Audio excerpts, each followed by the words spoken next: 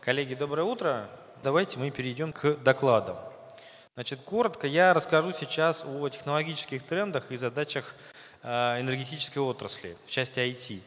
Данную презентацию я готовил к открытию технологического центра в части энергетики компании Microsoft, который был буквально вот месяц назад. Собственно, мы с экспертами готовили презентацию.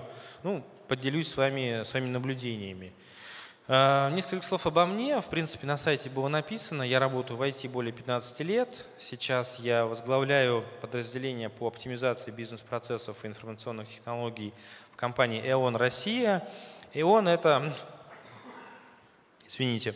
«Эон» — это энергетическая компания, которая занимается генерацией. Мы производим около 10% э, электричества Российской Федерации. Установленная мощность у нас 10 гигаватт. У меня достаточно широкий опыт в различных а, областях бизнеса.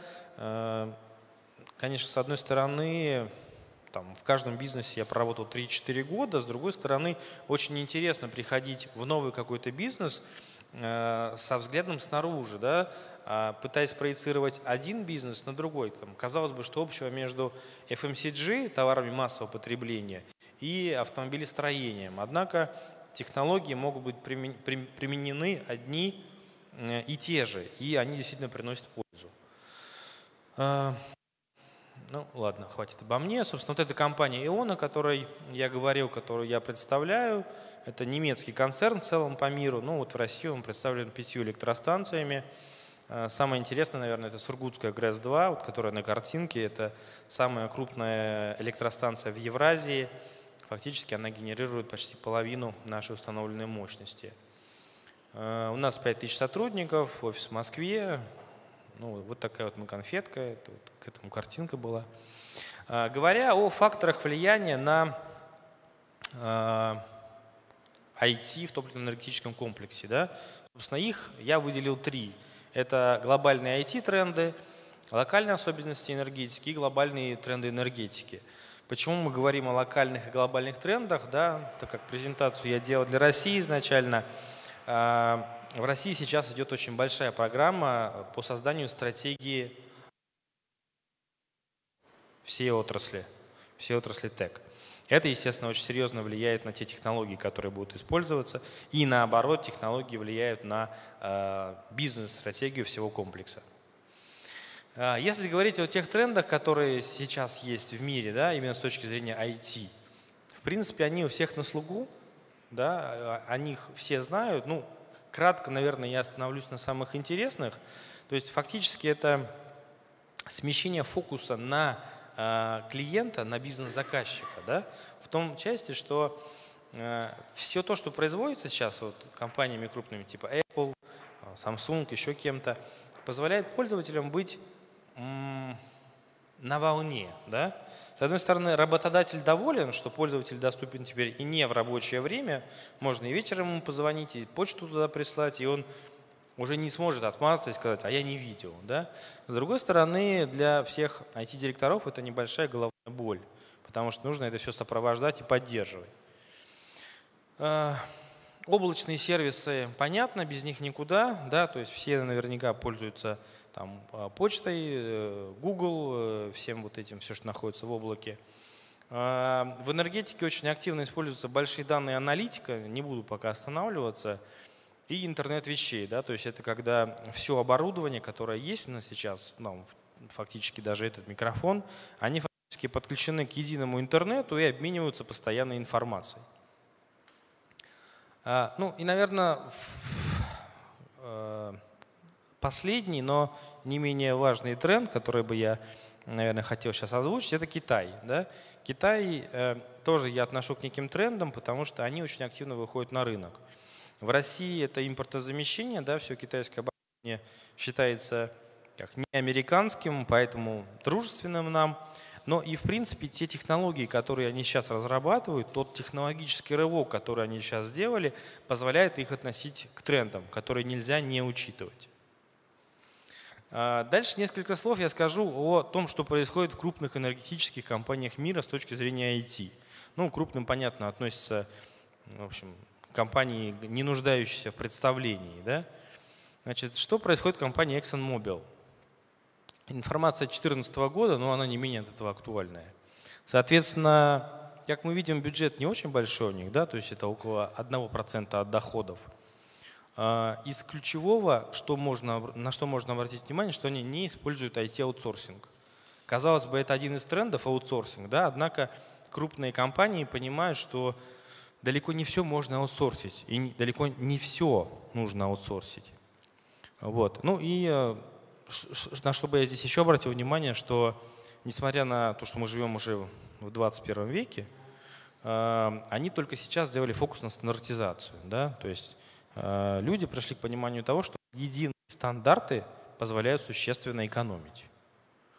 Компания Chevron тоже занимается унификацией. То есть они консолидируют 100 цодов в 50, соответственно, это достаточно большой и сложный процесс, однако он достаточно быстро окупается. И фактически, видите, они обновляют 90 тысяч персональных компьютеров. Зачем? Они переходят на тонкие клиенты, да, у которых более долгий срок эксплуатации, там установлен не 5, а 10 лет. То есть фактически это компьютеры без жесткого диска, которые можно использовать и которые работают напрямую э, с центрами обработки данных. За счет этого они, естественно, уменьшают инвестиционные доходы. Сначала вложив деньги, а потом уменьшают. Компания Петрочайна. Здесь, наверное, чтобы я, на что бы я обратил внимание, это снижение роли государства. Да, то есть, собственно, те технологии, которые сейчас есть, позволяют небольшим инвесторам уже участвовать в работе таких крупных корпораций. Канока Philips. Тоже, как мы видим, бюджет у них не очень большой. Здесь не очень много информации, честно говоря, публичной, да? но они делают очень большой а, акцент на оптимизацию добычи. Да? То есть это очень важный тоже тренд, а, что люди наконец поняли, что нельзя просто добывать э, бесконечно топливо да, какие-то, а нужно это делать с умом. Ну, компания «Газпром», российская компания – у них с IT вообще все непросто. Собственно, они планировали э, return on investment, то есть возврат на инновации 2 рубля на каждый вложенный рубль. Это информация 2014 года. Не знаю, получилось ли у них вернуть по 2 рубля на каждый вложенный рубль. Не менее, тем не менее они очень стараются. А, значит, вот эта информация компании Gartner, которая проводит исследования – информация 2014 года. И как мы видим, что э, в перечне затрат на IT энергетический сектор, да, он э, находится где-то очень внизу. О чем это говорит? Что пока бизнес не очень понимает, что в энергетике необходимо вкладывать деньги в IT. И это необходимо прежде всего не для IT, а для бизнеса. Именно за счет этого он может снизить свои затраты. А, дальше несколько слов о глобальных трендах, которые в принципе в энергетике происходят. Я не буду здесь очень сильно останавливаться. А, что хочется сказать? Очень активно развивается альтернативная энергетика.